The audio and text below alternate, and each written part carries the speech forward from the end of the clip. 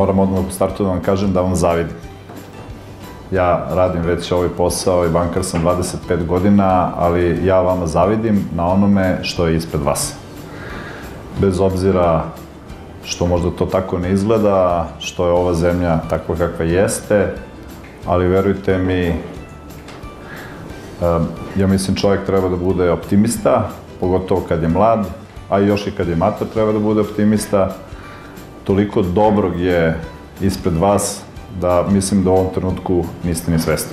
Korporativna kultura nije samo način na koji vi poslujete u nekom, u nekoj firmi, odnos i način na koji se odnosite prema ljudima sa kojima radite, takođe prema sredini u kojoj radite.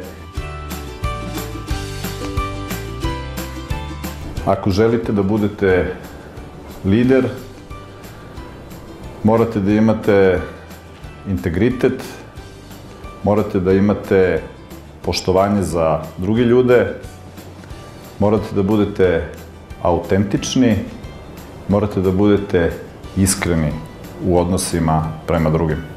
Ljude nikada sa kojim radite, koji su i vaši podređeni ili vaši pretpostavljani, nikada nemojte da lažete. Vrlo brzo to ljudi prepoznaju i onda vas ne cene.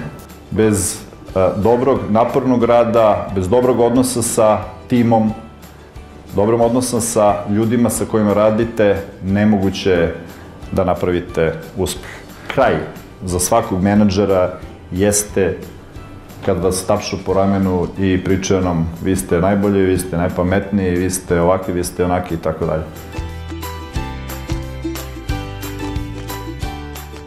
Dajte od sebe sve što možete, kreirajte dobru atmosferu, kreirajte atmosferu u, kojima u kojoj su ljudi spremni da daju sve od sebe. Kreirajte atmosferu u kojoj su ljudi spremni da trče ekstra mile.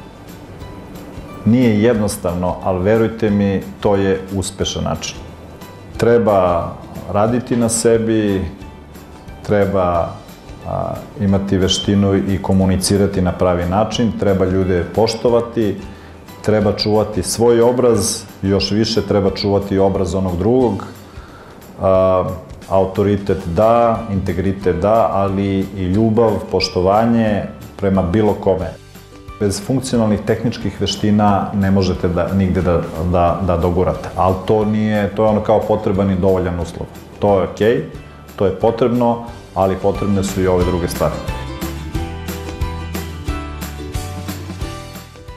Pa jako mi se svidelo predavanje, da kažem, pošto nije bila klasična prezentacija, ovaj, nekako je bilo neposredno, bilo je, uključeno je dosta primjera iz nekog njegovog dosadašnjeg iskustva. Ovako predavanje jako mnogo znači za neko koje sam trebao na početku svoje karijere i kao neko ko sad tek treba da odluči sa čime će i na koji način se bavi.